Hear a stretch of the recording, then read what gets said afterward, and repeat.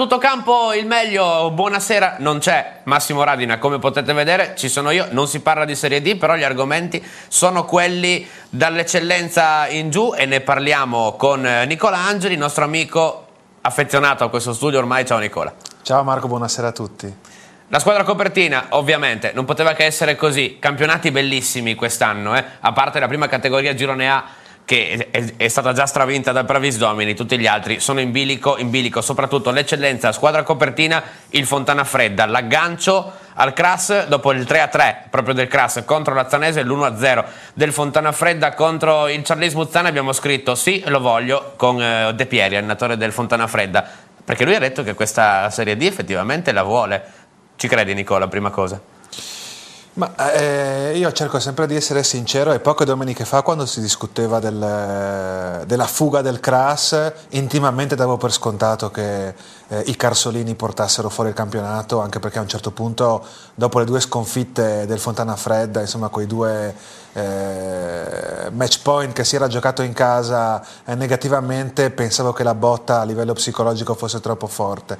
Invece complice qualche problema di rosa per il, per il Crass e una rinata vitalità del Fontana Fredda, eh, il, il, campionato insomma, di eccellenza è di nuovo, è di nuovo aperto. Eh, a questo punto di testa penso stia meglio il Fontana Fredda perché eh, si soffre più facendo la lepre che facendo l'inseguitore in questo senso e quindi eh, eh, da quel punto di vista potrebbero avere qualcosa, qualcosa, di più. Certo è che a livello di tasso tecnico, eh, nonostante tutto, eh, penso abbia ancora qualcosa di più il Crass per la volata finale. Però sono tre partite Tasso tecnico contro inerzia, cosa vince? Spesso l'inerzia però in questi casi. Sì, con così poche partite sì, se ci fossero cinque partite sarebbe già diverso, però eh, tre sono, sono eh, poche per, perché si modifichi eh, eh, quel tipo di situazione lì effettivamente. Ecco però a questo punto la domanda è inevitabile, se lo perde l'ha perso il Crass. Sì, per forza l'ha perso il Crash, ma credo sia proprio questa la questione, il fatto che eh, in questo momento eh, tutta la pressione sia sul Crash, perché se il Fontana Fredda dovesse riuscire eh, nell'impresa, chiamiamola così, insomma, non è neanche tale perché non è che è un, un recupero di un quarto di finale di Coppa dove all'andata è sotto 3-0, comunque il Fontana Fredda in quella condizione ci è arrivato, i punti li ha fatti, nessuno, nessuno glieli ha regalati, in questo senso eh, è relativo parlare di impresa. Certo è che per come era messa la situazione fino a poche domeniche fa, eh, tutto può assumere questa connotazione. Ecco, eh, il Cras può avere problemi di rosa però, da quanto mi dicevi un secondo fa, aveva qualche problema di rosa, ma non era questa rosa imbattibile, ormai pronta per la Serie D, eh, quindi evidentemente un campionato lungo fa male a tutti. Sì, è lungo, è lungo, il giusto però il campionato di, di, eccellenza, nel senso che a me eh, infastidiscono un po' i campionati eh, con 20 squadre, no? tipo la nostra Serie A o, quelli, o altre massime divisioni straniere. Eh, il numero di, di, squadre che partecipano a eccellenza è il, è il numero giusto perché ci possono essere sorprese del genere. Probabilmente se avessimo avuto un'eccellenza a 20, eh, il, l'inerzia o, dire, o i passi falsi sarebbero stati meno, eh, meno decisivi. Invece in questo caso eh, proprio la composizione, la struttura del, del campionato fa in modo che eh, sia giocabile e ci possano essere sorprese eh, fino all'ultimo. Allora abbiamo parlato, abbiamo nominato la parola impresa accostandola al Fontana Fredda, ci sta, ha diritto di cittadinanza. Se invece nominiamo quella fallimento e l'abbiniamo al crash, ovviamente scongiuri sul Carso, nel caso in cui nemmeno poi i playoff vadano a buon fine, post season e quant'altro, sbagliamo di tanto.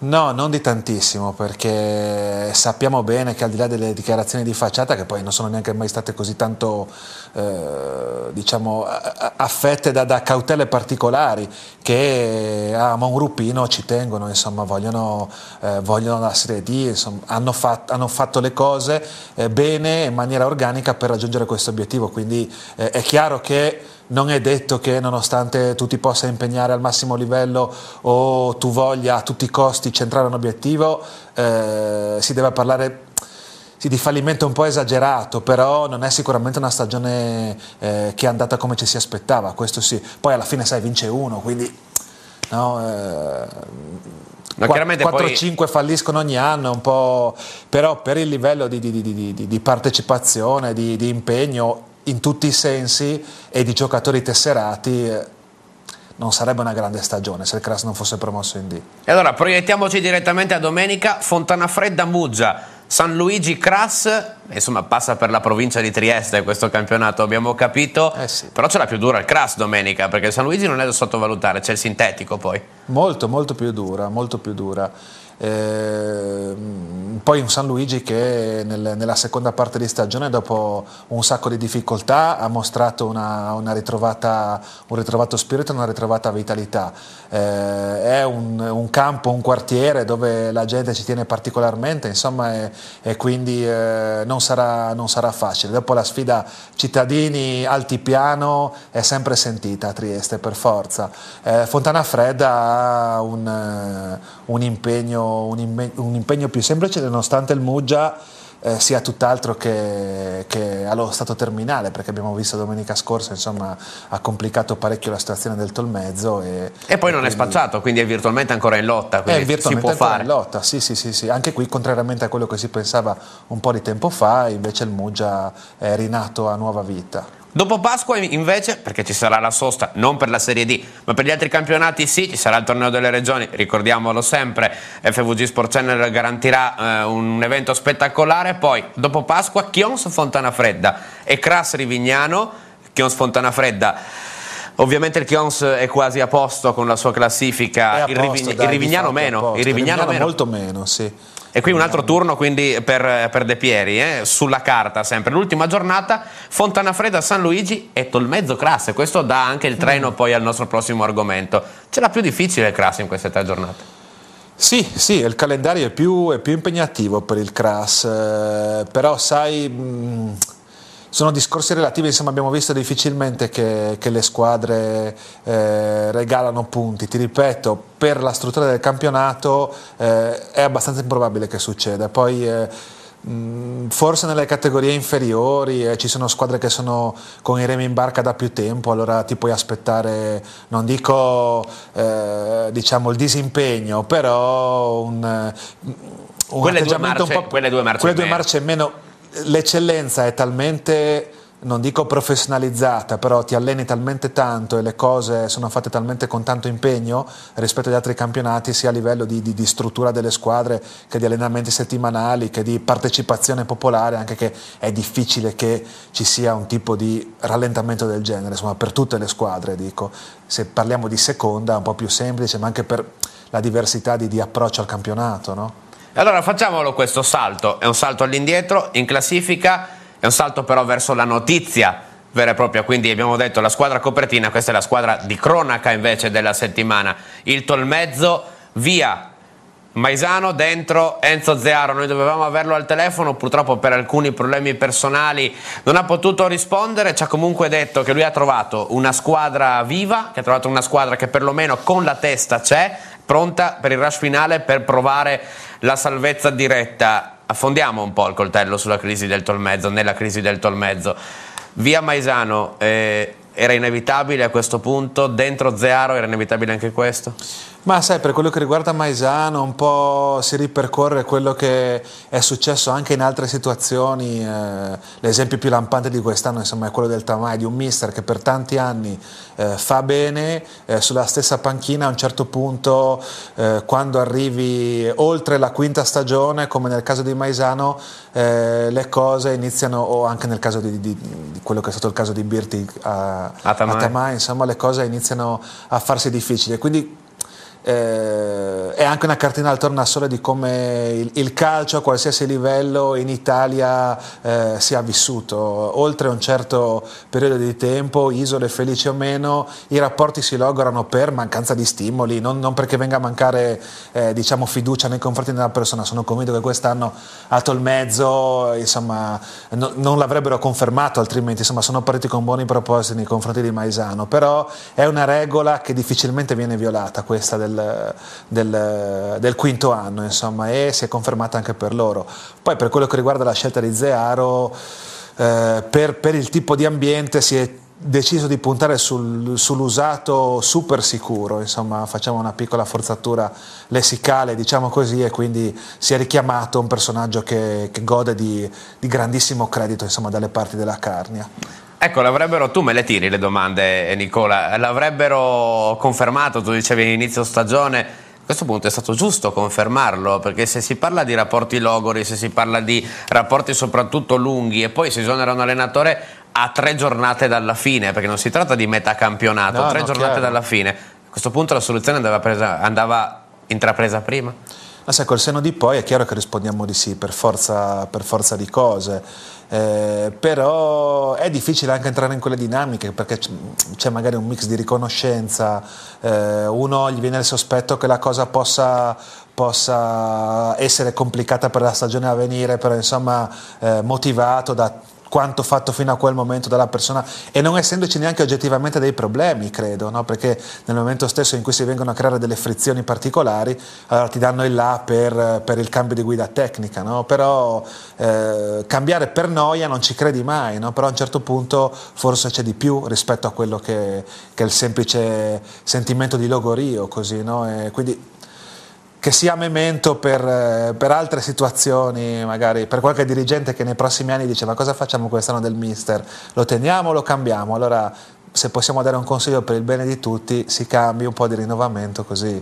Eh, e si cambi subito, si, cambi subito, si dia si la possibilità a un allenatore certo, di prendere una squadra, di lavorarla, di certo. forgiarla e di metterci per la forza, sua firma. Anche perché in questo, in questo caso, eh, nonostante la mancanza di risultati, insomma, quindi che legittimano la sostituzione, eh, è brutto nei confronti di un mister che ti ha ti ha, ti ha, fatto contento per tanti anni avere un tipo di... non credo che a Tolmezzo fossero contenti eh, per forza di cose, però anche il, dal punto di vista umano insomma, è pesante come, come atteggiamento. No? Ecco, noi abbiamo scritto Ritorno al futuro perché, eh, perché proprio Enzo Zearo eh, fu l'allenatore che riportò 13 anni fa il Tolmezzo in eccellenza, adesso ha tre partite, 100, eh, anzi scusate, 270 minuti per eh, tenerlo a questo punto, eh, il Tolmezzo in eccellenza. Si parte con Tolmezzo Chions, forse la più facile perché dopo ci sono San Luigi Tolmezzo e Tolmezzo Crass. Insomma, sì, bisogna lavorare tanto sulla testa, forse solo sulla testa. Sì, sì, per forza, ma torniamo allo stesso discorso di prima dell'impegno, dell'impegno delle squadre, non dimenticandoci che un po' i valori, vista anche la stanchezza insomma, della, della, stagione, possono venire appiattiti anche da quello. Eh, adesso stiamo analizzando la situazione del Tolmezzo, io ho fiducia perché è una squadra che comunque ha qualche uomo gol, contrariamente magari a qualche altra squadra che eh, può fare fatica a fine campionato perché manca, manca, la figura del bomber e quindi in questo caso eh, i rosso-azzurri eh, possono essere un po' più favoriti rispetto ad altre formazioni che battagliano per, eh, per la bagarre finale insomma. Ecco, chiudo, con, uh, chiudo, il primo blocco, chiaramente non la trasmissione intera, con una domanda, risposta secca, sì no, zero può essere una soluzione di lungo periodo oppure si traghetta fino all'ultima giornata e poi si progetta? Eh, vorrei risponderti eh, di no, poi temo di fare una brutta figura, ma lo vedo come, come un gesto eh, salvifico, no? cioè, c'è bisogno e quindi mi rimetto in discussione, anche perché un tipo di impegno del genere quando sei, abitu- quando sei abituato ad altre, ad altre, dinamiche, altre inerzie è, è consistente, insomma, perché eh, ti, lo sappiamo benissimo, non è come allenare con tutto il rispetto una seconda, una prima, a livello di testa, di, di tempo dedicato alla cosa settimanalmente eh, ce ne vuole parecchio, insomma, perché fai eh, tre allenamenti, qualcuno fa anche un richiamo il sabato, la partita alla fine è una vita, almeno quella eh, diciamo extra familiare, extra lavorativa, forse Zero sarà eh, pure in pensione, adesso non lo so, però è dedicata prettamente, prettamente al calcio, insomma, quindi se uno per un po' di anni non ha fatto questo tipo di vita, poi si disabitua e magari è abituato ad altre, ad altre dinamiche. No? Avremo ancora tanto da parlare, sempre con Nicola Angeli, rimanete lì, pubblicità, siamo di nuovo qui.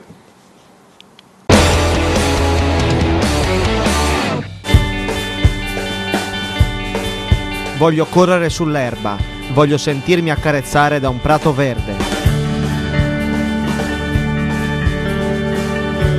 Società, affidati a The Green Carpet, specializzata in manutenzione aree verdi e impiantistica sportiva. Green Carpet ti offre un pacchetto completo a prezzi concorrenziali, comprensivi di semina, sabbiatura, concimazione e rizollatura. Un campo da Serie A è possibile anche nei dilettanti grazie a Green Carpet, che vanta lavori al Friuli di Udine e al Rocco di Trieste. Prendi cura del tuo campo io ne ho bisogno.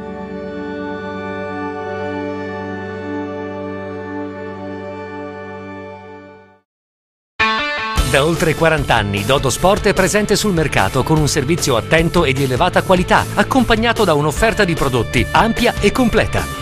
Da Dodo Sport a Percoto trovi l'abbigliamento, gli accessori e le scarpe per ogni momento informale della tua giornata. Stile, praticità e gusto sono le caratteristiche delle collezioni che proponiamo per uomo, donna e bambino. E per gli sportivi del calcio e calcetto offriamo un assortimento vasto e completo di calzature e abbigliamento tecnico, fornendo un servizio economico e puntuale anche per le società sportive. Dodo Sport il negozio per gli sportivi e non solo, da Percoto.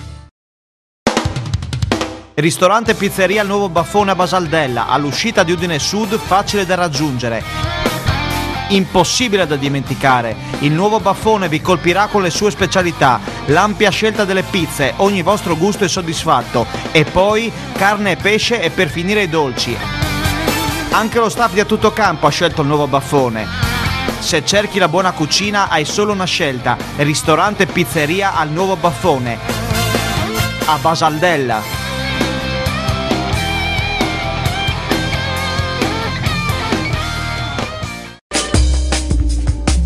Zanutta Fadalti, 18 punti vendita, la passione di una famiglia, la professionalità ed affidabilità di un'azienda storica, il punto di riferimento del territorio per i professionisti, gli artigiani e i clienti privati.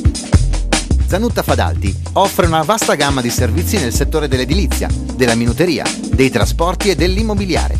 Per scoprire le nostre promozioni e i prodotti innovativi, visita il sito www.zanuttaspa.it o vieni a trovarci nei nostri 18 punti vendita da Belluno a Trieste, passando per lo storico centro di Muzzana del Turniano, Sacile, Pordenone e Udine. Zanutta Fadalti è il tuo punto di riferimento.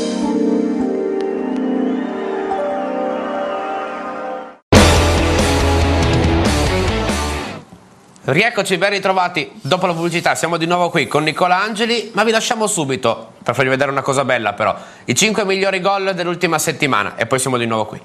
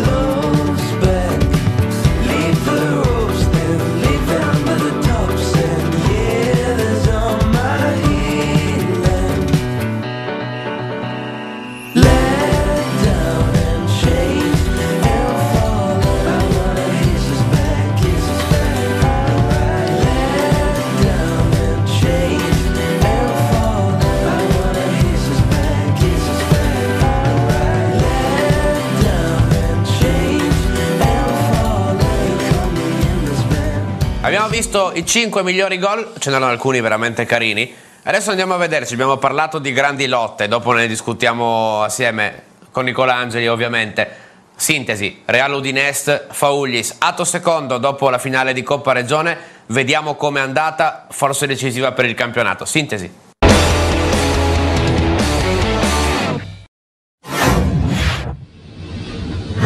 Sabato scorso il Real Udinest ha alzato al cielo il primo trofeo della sua storia e l'ha fatto proprio a discapito del Faulgis che ospita stasera.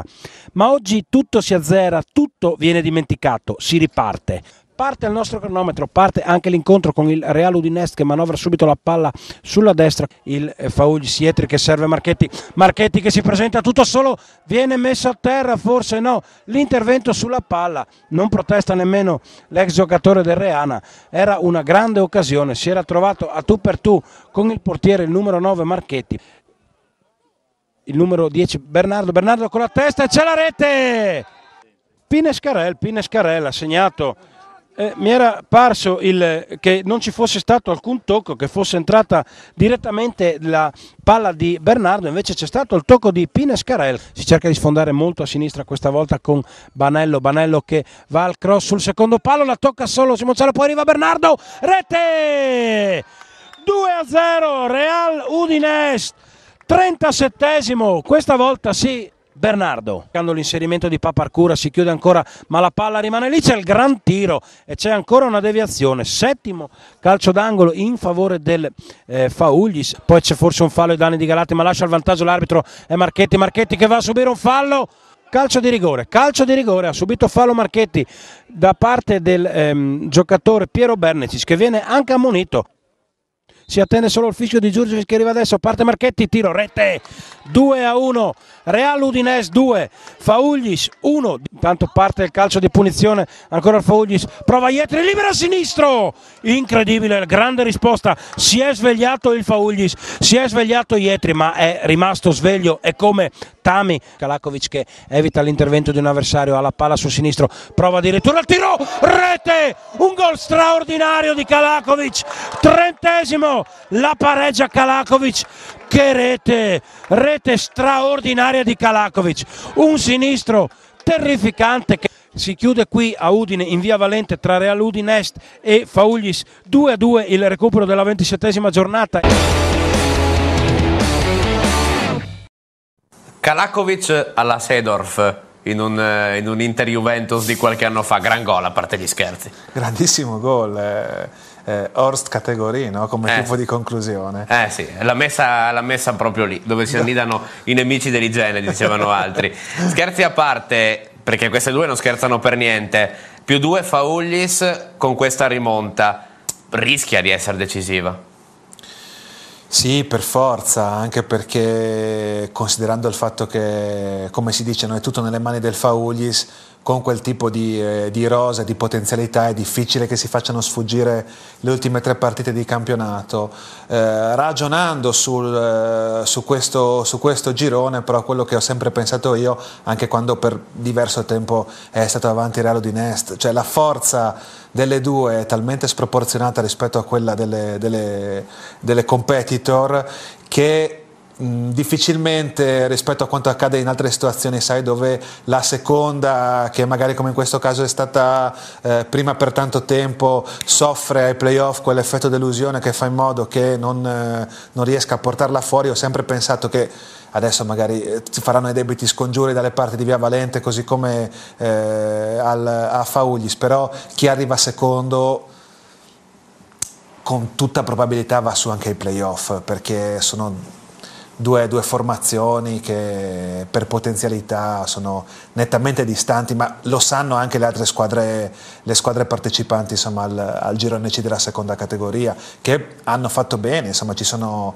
eh, belle realtà, ben organizzate, eccetera, però per rosa, per potenzialità, queste due sono davvero troppo forti per tutte le altre. Per quanto riguarda la regular season, mh, questi due punti di vantaggio conservati proprio con il gol, il golasso che abbiamo appena visto, ecco, rischiano quelli di essere ormai quasi Conservati finali. anche in questo modo. È sai. difficile perdere punti con, con- con altre squadre, vista la manifesta superiorità. no? Perché nel momento stesso in cui vai sopra 2-0 eh, ti metti già via che sei, questo ti ha, ti ha, ti ha imbrogliato dal punto di vista mentale, no? pensi già di essere a, a più uno No? E da un momento all'altro, cioè da un momento all'altro, insomma, nel corso della partita, poi gli altri arrivano al pareggio con quel tipo di pareggio, capisci? No? Eh sì, ti dà una mazzata morale ti dà in una più. mazzata pazzesca, no? perché un gol del genere dici, boh, allora eh, si vede che non, che non, dovevamo portarla fuori, insomma, e quindi eh, impegno per, eh, per, il mister Baulini, insomma, in questo senso, per, eh, per riuscire a a gestire bene la cosa. Allora, cogliamo il tuo assist e vediamoci subito le interviste. Allora, interviste di Real Udinese Fauglis e poi di nuovo qua. Rino Busato, allenatore del Fauglis, il punto può andare bene? Sì, penso di sì, insomma, penso che non abbiamo rubato niente, forse se c'era una squadra che doveva vincere stasera eravamo noi per quello che abbiamo creato, per come abbiamo giocato e per le occasioni da gol. Loro sono stati bravi in due errori nostri e hanno fatto due tiri e due gol mi sembrano. Adesso magari dopo rivedendo la partita magari sarò più, più preciso, però penso che insomma, la partita sia quello, non abbiamo rubato niente. Ecco Presidente, adesso tre partite, ovviamente voi siete obbligati a fare nove punti, il destino forse è nelle mani del Fauglis però a questo punto. Ma il destino è nelle mani dei Fauli, se noi siamo partiti con quella che vogliamo andare in prima categoria, se vinciamo il campionato siamo felicissimi di vincerlo, se andiamo su tramite i playoff va bene lo stesso, l'importante per noi è andare in prima categoria. Dove vuole arrivare il suo Fauglis? Ma noi eh, l'obiettivo eh, che ci eravamo prefissi due anni fa quando è nata la società era di arrivare in prima categoria e di fermarsi in prima categoria perché le strutture nostre nel nostro piccolo paese non ci permetteranno di andare in eccellenza, anche se magari l'obiettivo è di salire in prima o in promozione, ma non di più. Alessandro Ietri, uno dei giocatori più rappresentativi del Faullis, nonché capocannoniere, sono da fare 9 punti per salire adesso? Beh, io penso proprio di sì, perché se sbagli contro, contro le altre tre squadre cui dobbiamo affrontare io penso che il Real non molla niente, per cui devi vincere tutte e tre.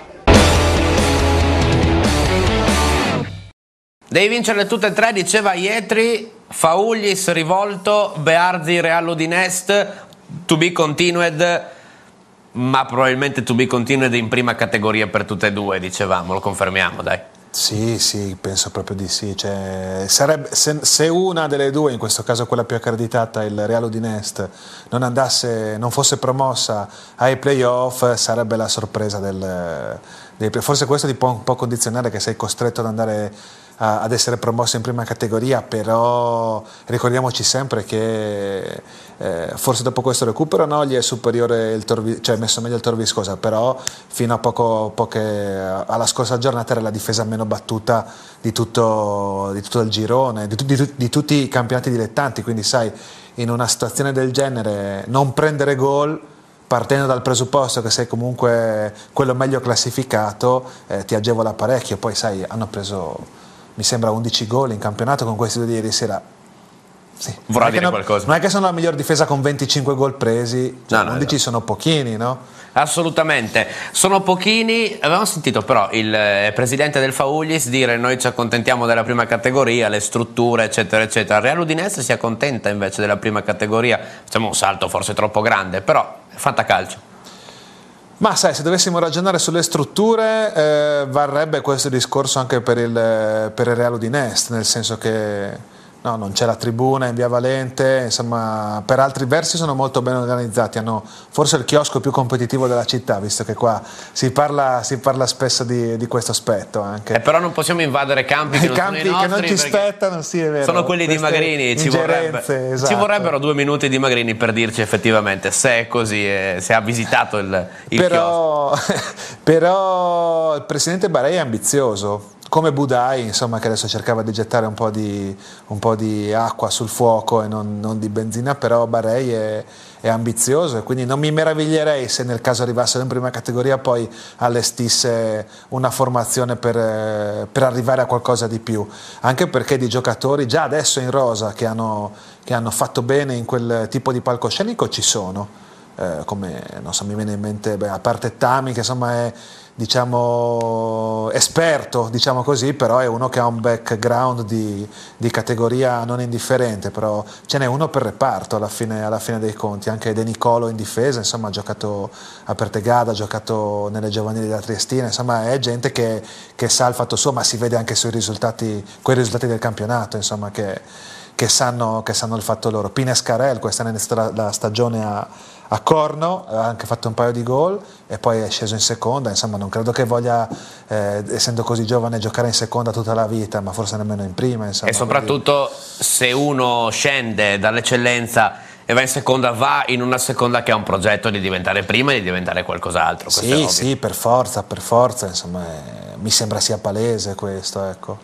E noi abbiamo visto questa lotta per il campionato in seconda, girone C, parlavamo della lotta in eccellenza Prendiamo anche questo treno, andiamo a vedere allora i nostri appuntamenti, le partite che potrete vedere già domenica sera a tutto campo con Massimo Radina 19.30 anche su Free Canale 17, Belluno Pordenone l'anticipo L'anticipo si giocherà di sabato e qui si decide sì il campionato, si gioca anche Este Marano, noi ci vedremo Belluno Pordenone e poi Unione Triestina Vittorio Veneto, altre immagini sempre nostre, poi San Luigi Crass, qui siamo di nuovo in eccellenza, Camino Torre, promozione Girone A e poi Vesna Juventina, tutto solamente da noi abbiamo detto occhio capolista, vi controlliamo queste sono praticamente tutte capolista, tranne la Triestina. La Triestina che sta affrontando un momento difficile, ne parleremo anche di quello. Grazie Nicola Angeli per essere stato con noi. Grazie a te e buonasera a tutti.